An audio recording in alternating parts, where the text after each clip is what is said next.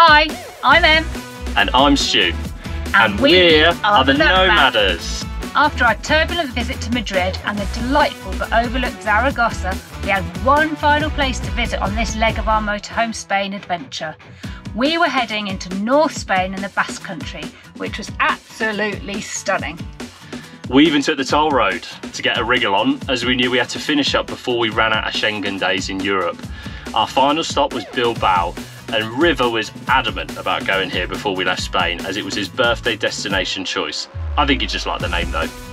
In this video, we visit some of the main sites and landmarks in the city, get completely exhausted walking up the most amount of steps ever, and taking this beautiful and charming city nestled in the mountains. We ended up going wild at one of the coolest locations to visit in Bilbao if you are travelling with children. It is a must stop. We also have a big announcement as our van life in Europe trip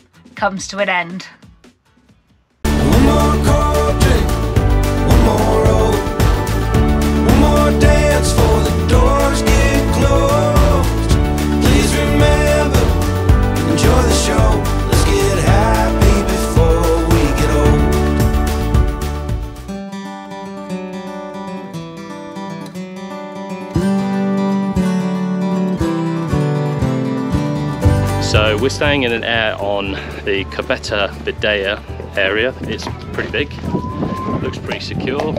Um, it's got some big old gates and a big old barrier, which is always good to see.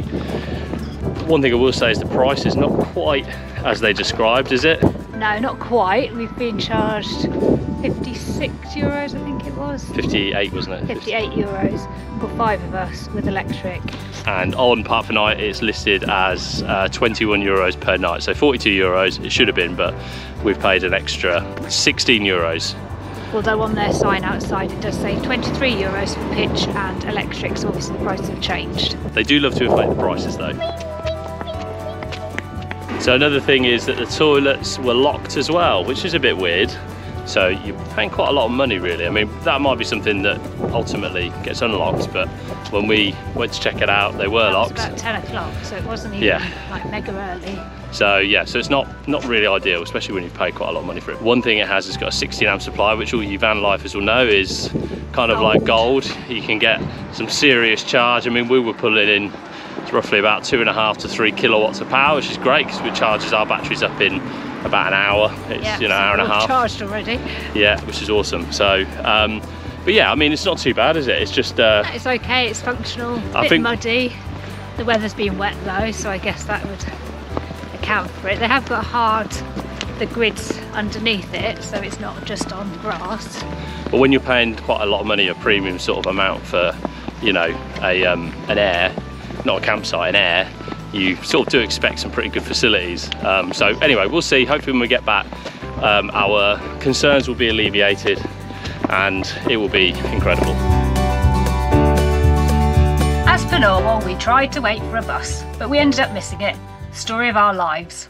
So instead, we marched on through to Bilbao from the aire, which ended up being about an hour's walk. Yeah, it was it was roughly an hour.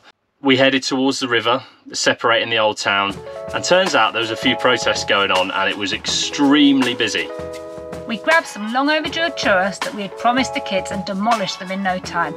Next stop was the old town.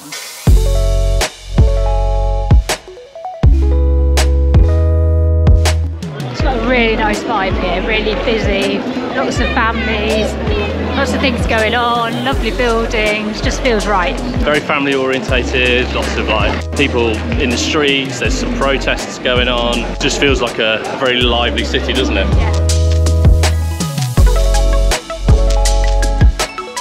So we're just heading into the old town now. So let's go have a wander around and check out the streets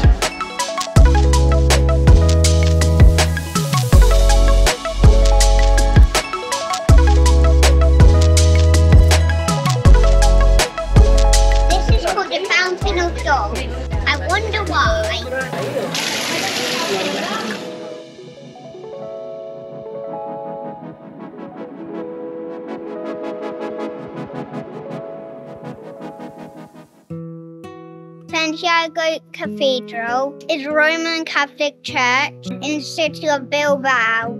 It was originally built in the 14th and 15th centuries, but was only made a cathedral in 1950.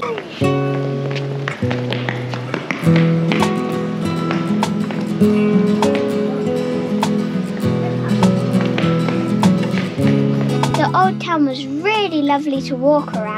Next, we're heading to a famous square in the heart of Bilbao. This is the Plaza Nueva, and it's a monumental square in Bilbao, built in the neoclassical style in 1821. Every Sunday, there is a large traditional flea market, but not today. We'd sort of got to the point in the day where we'd ticked most of the things off we had planned. Next, though, we were heading to the Basilica of Begoña, which was up an obscene amount of steps. Not your favourite bit of the city, was it? No, absolutely not.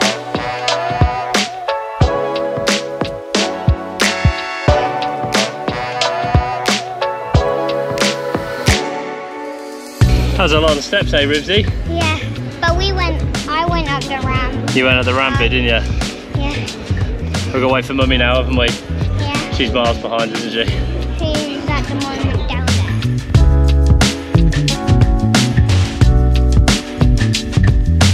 there. Yeah, there's a, not a massive amount to see really here in terms of kind of traditional historical landmarks or old buildings and things. Um, so if you're kind of expecting something where you know you can do a big checklist of stuff, it's kind of not that city, but it's a really cool city and it's got a really nice sort of like vibe to it and you know, it was really busy today, lots of families out and lots of people sort of doing bits and bobs, the skateboarding, all that kind of stuff. So it had a really cool feel about it, but yeah, not kind of as touristy, I don't think. But yeah, it, it, it definitely was a, a very different city than we've been to.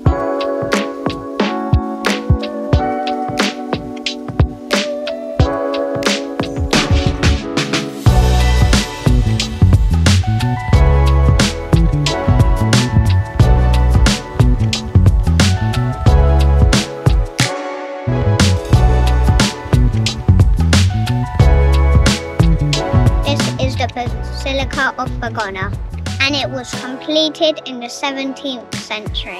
And allegedly, they saw the apparition of the Virgin Mary.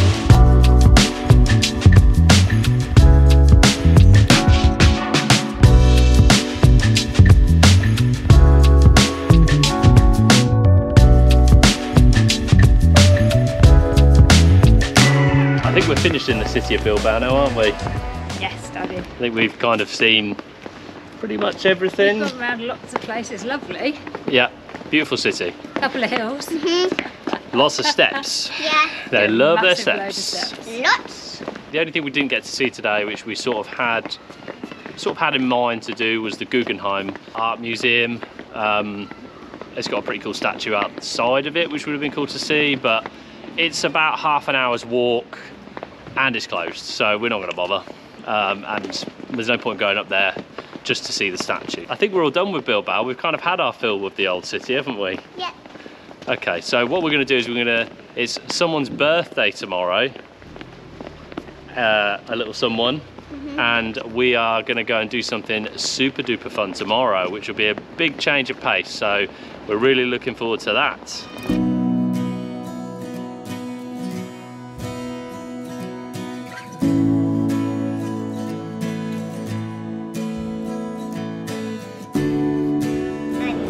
Old tomorrow. A big eight. What are you allowed to do now you're eight years old? I don't really know. Drink tea. Hmm? Drink tea. Drink tea. Oh yeah. You excited about drinking tea? Yeah. My own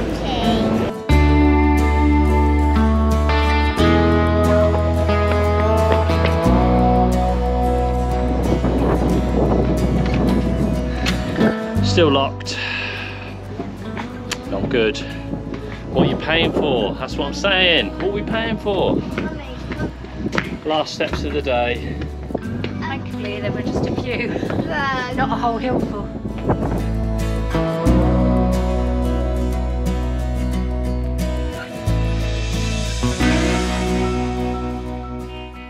So we're doing something a bit different today, as it's someone's birthday. Whose birthday is it? River's mine. Whose? Mine. Yours. Where are we going? Junkyard. We are going to Jumpyard, which is a big trampoline place. Even Mummy and Daddy are going to be doing some jumping. My last party was um a fancy place with lots of stuff you could go on. It was like a trampoline place, so I think Yeah. this is a bit like it, isn't it? Yeah. Are you excited, Mummy? Yeah.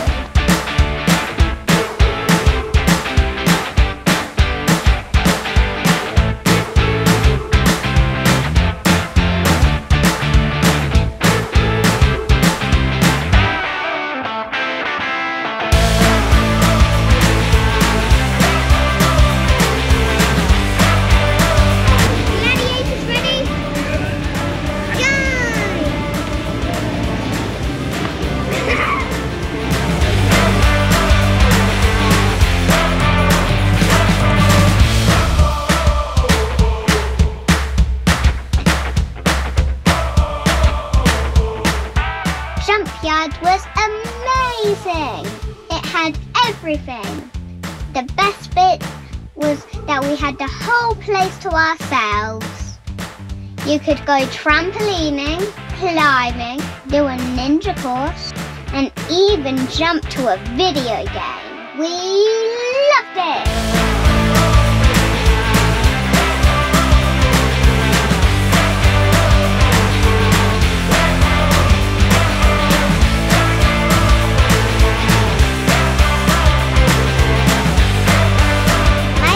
Birthday treat was amazing. what was your best bit? um, going on the thing where you run and then jump and then fall into the black thing. So after our mental bouncing for the day, we decided to come for dinner, didn't we? Yeah, to eat up all the carbs, Yeah. eat up And, all the calories we burnt off. and we didn't bother with Spanish food today. We just went straight in for the uh, all the bad stuff.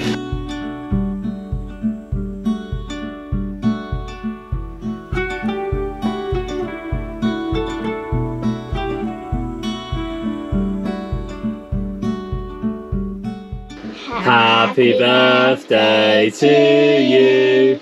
Happy birthday to you. Happy birthday, dear River. Happy birthday to you. Hip hip. Hooray! Hip hip. Hooray! Go on then, buddy. We've come to the end of our first leg of our motorhome journey across Europe. We've explored so much of what Europe has to offer, but feel like we've only just scratched the surface. From tasting French delicacies on the La Rochelle markets, Conquering the Pic Penia Gloucester in Catalonia and taking the motorhome Spain adventure into the mountains. to checking out amazing graffiti in the streets of Lisbon. We've got so many amazing memories of van life in Europe, and the kids have had an incredible time and they're really just starting to get into their adventuring groove. The trip has not been without its lows though, as we have battled constant van troubles and the electrical system leaving us stranded at park ups. Some of the disasters, though, were self inflicted, like when I drove off that concrete platform outside of Cognac. As anyone who has decided to have a go at this van lifestyle will tell you, the highs definitely outweigh the lows.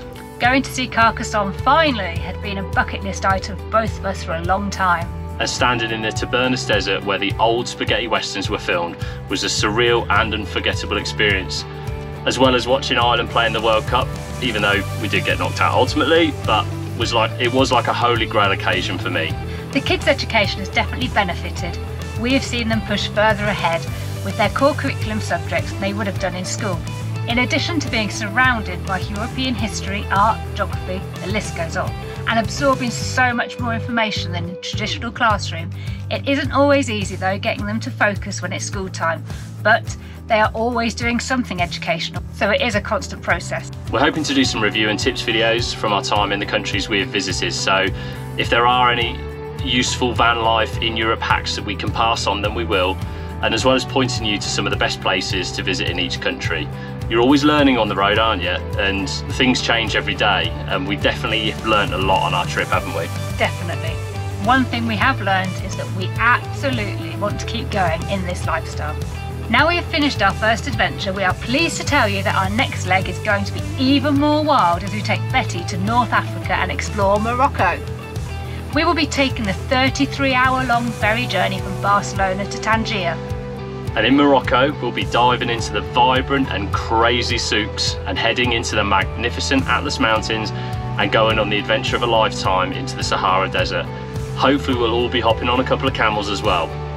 After leaving Morocco, we'll head back to Europe and on towards Hungary and Eastern Europe. Thanks so much for all the support and for checking out our videos. It's been a massive learning curve for us doing these videos and sometimes it's been a real challenge to get them finished whilst on the road. We hope you have enjoyed watching our Motorhome Spain adventures and hopefully you will stick around for more antics and dramas on our van life journey. See you soon and safe travels.